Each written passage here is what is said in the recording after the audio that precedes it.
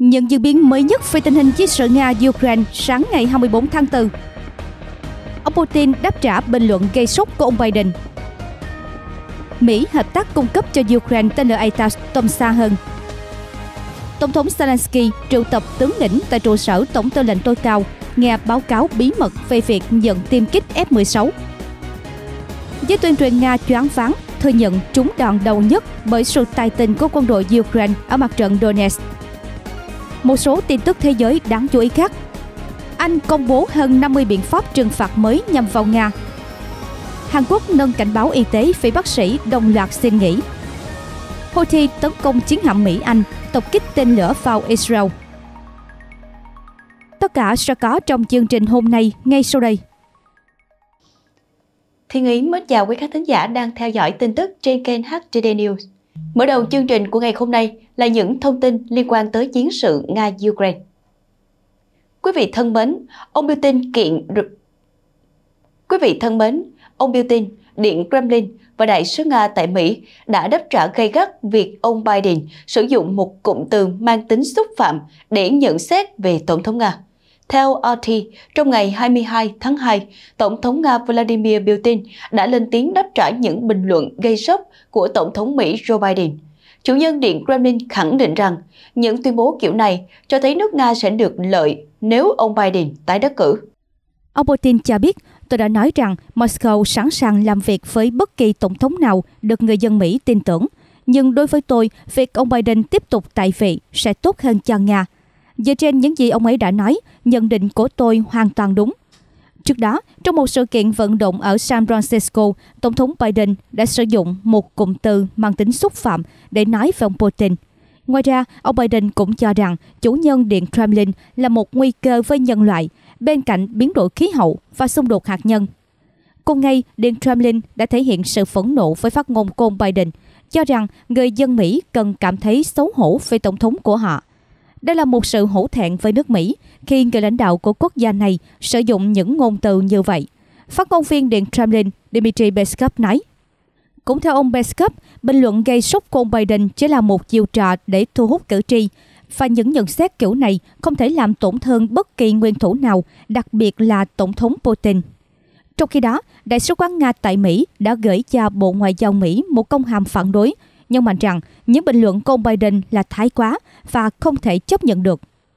Vào tuần trước, ông Putin đã nhận xét rằng ông Biden là một chính trị gia truyền thống dễ đoán. Tòa Bạch Ốc ngay sau đó đã lên tiếng phản đối bình luận của Tổng thống Nga. Mỹ hợp tác cung cấp cho Ukraine tên lửa ATACMS tầm xa hơn. Chính quyền Mỹ đã chính thức xác nhận rằng họ đang xem xét khả năng cung cấp cho Ukraine tên lửa ATACMS tầm xa hơn những tên lửa đã chuyển giao trước đó. Điều này được nêu vào hôm thứ Năm trong một cuộc họp ngắn qua điện thoại của điều phối viên Hội đồng An ninh Quốc gia Hoa Kỳ John Kirby, phóng viên Uniform đưa tin. Ông Kirby nói, Chúng tôi đã cung cấp một phiên bản ATAS như bạn biết, loại phiên bản đã được cung cấp cho Ukraine và họ đã sử dụng chúng để đạt hiệu quả tốt. Trong bối cảnh này, ông Kirby nhấn mạnh rằng việc trang bị cho lực lượng vũ trang Ukraine các phiên bản ATACMS với tầm bắn mở rộng chưa bao giờ là điều cần bàn. Điều phối viên Hội đồng An ninh Quốc gia Hoa Kỳ nói thêm, chúng vẫn là một phần của các cuộc thảo luận mà chúng tôi đang có với Ukraine. Ukraine thực sự có khả năng và đã được các nước khác cung cấp khả năng tầm xa tương tự và chúng tôi vẫn đang đàm phán với Ukraine về phiên bản tầm xa hơn của ATACMS. Như đã đưa tin đầu tuần này, truyền thông Mỹ dẫn lời các quan chức chính quyền ở Washington viết rằng Tòa Bạch Ốc đang nỗ lực cung cấp cho Ukraine tên lửa đạn đạo ATACMS tầm xa mới. Nhưng để điều này xảy ra, Quốc hội phải thông qua một gói viện trợ mới.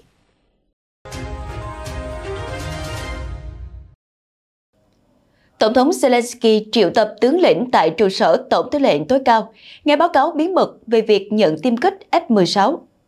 Ngày 22 tháng 2, Tổng thống Ukraine Volodymyr Zelensky đã tổ chức cuộc họp tại trụ sở Tổng tư lệnh tối cao, nơi ông nghe các báo cáo từ Tổng tư lệnh và tình báo, cũng như thông tin mật liên quan đến việc cung cấp máy bay chiến đấu F-16 cho quân đội.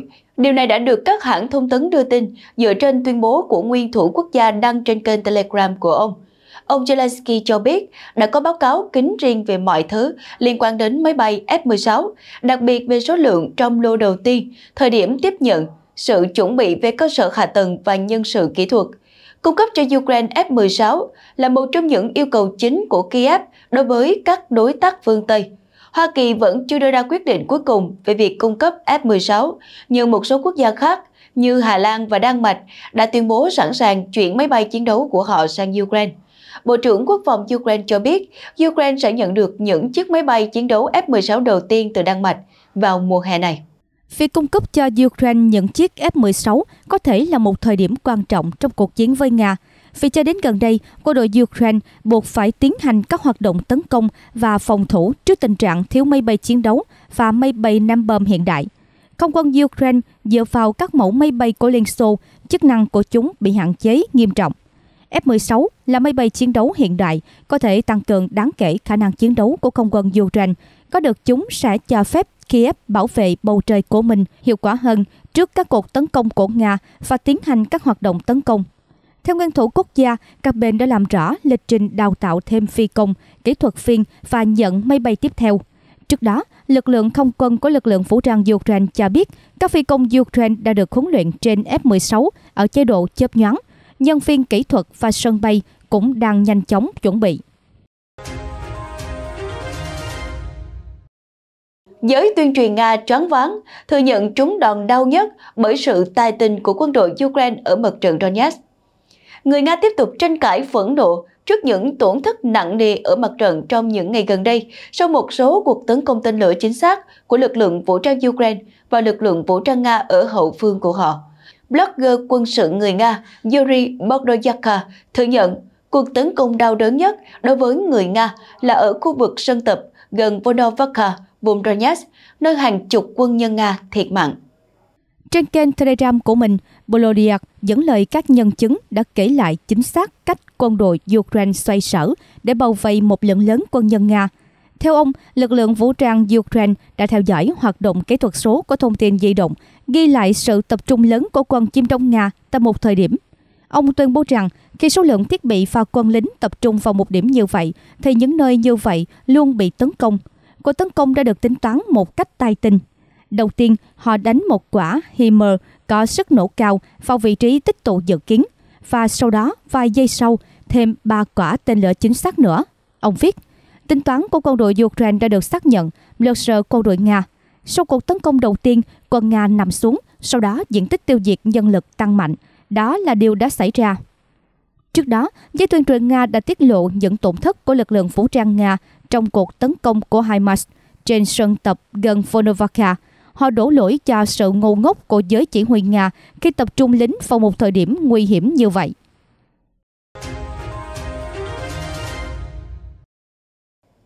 Anh công bố hơn 50 biện pháp trừng phạt mới nhằm vào Nga. Động thái được đưa ra chỉ 2 ngày trước cuộc bốc đánh dấu 2 năm Nga xâm lược Ukraine ngày 22 tháng 2, Ngoại trưởng Anh David Cameron cho biết những áp lực quốc tế đối với Nga nhằm khiến quốc gia này gặp khó khăn trong việc huy động các nguồn lực. Là một phần trong nỗ lực phối hợp của phương Tây với mục đích hạn chế nền kinh tế Nga, Liên minh châu Âu EU cũng đã phê chuẩn gói trừng phạt Nga thứ 13, bổ sung gần 200 thực thể và cá nhân bị cáo buộc hỗ trợ Moscow. Trước đó, Anh đã trừng phạt các công ty có liên quan đến ngành công nghiệp đạn dược của Nga, bao gồm nhà máy sản xuất vũ khí Sverdov và hạn chế các nguồn doanh thu mục tiêu trong ngành công nghiệp kim loại, kim cương và năng lượng. Bộ Ngoại giao Anh cũng áp đặt các lệnh trừng phạt đối với những nhà nhập khẩu và sản xuất mấy công cụ quan trọng của Nga. Đây là những thiết bị được sử dụng trong sản xuất các hệ thống phòng thủ và nhiều thành phần linh kiện, từ tên lửa, động cơ cho đến xe tăng và máy bay chiến đấu. Đến nay, Anh đã đưa hơn 2.000 cá nhân, công ty và tập đoàn Nga vào danh sách trừng phạt của quốc gia này. Hàn Quốc nâng cảnh báo y tế vì bác sĩ đồng loạt xin nghỉ. Bộ Y tế Hàn Quốc thông báo, Hàn Quốc nâng cảnh báo y tế lên mức nghiêm trọng khi hàng ngàn bác sĩ đồng loạt nghỉ để phản đối kế hoạch cải cách của chính phủ. Trong tuyên bố đưa ra vào tối 22 tháng 2, Bộ Y tế Hàn Quốc cho biết mức cảnh báo mới bắt đầu được áp dụng từ sáng nay. Chúng tôi quyết định nâng cảnh báo nguy cơ thảm họa về chăm sóc sức khỏe từ mức thận trọng lên nghiêm trọng.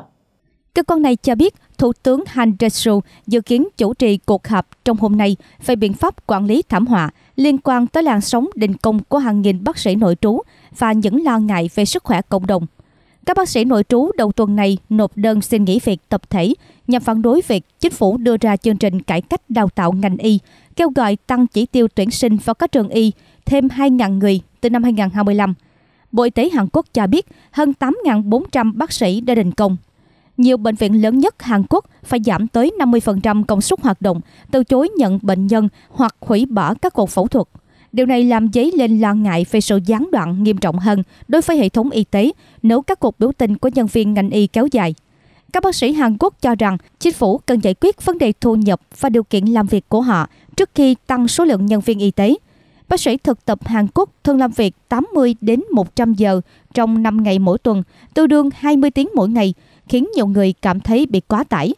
Bộ Giáo dục Hàn Quốc ngày 22 tháng 2 cho biết gần 12.000 sinh viên y nước này cũng đồng loạt nộp đơn xin nghỉ học để phản đối kế hoạch cải cách của chính phủ.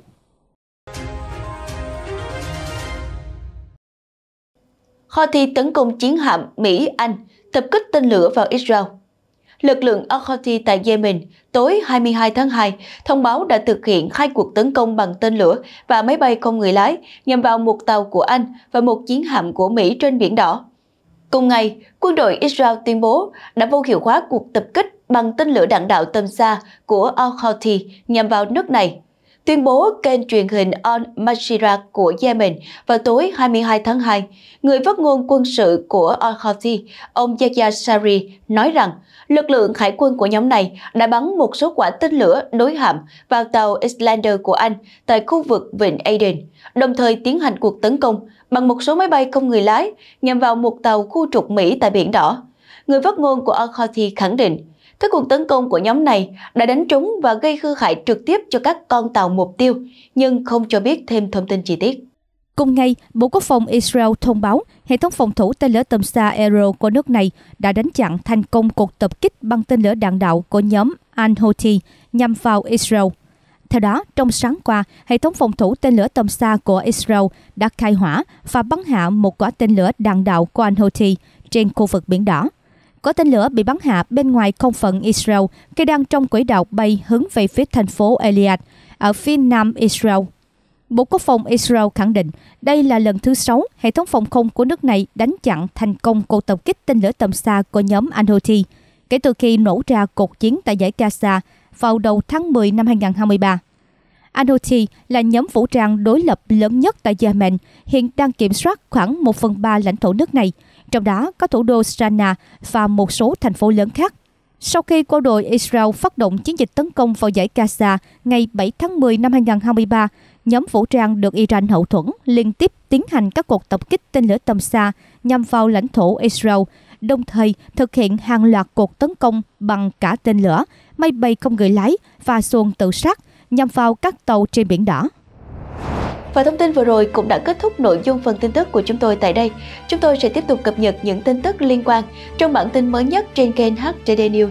Mọi ý kiến đóng góp cho chương trình xin quý vị để lại ở dưới phần bình luận hoặc gửi qua hộp thư htdnews.ptv.gmail.com Một lần nữa, đội ngũ HTD News rất mong nhận được sự ủng hộ của quý vị khán thính giả. Xin chào và hẹn gặp lại ở bản tin kế tiếp.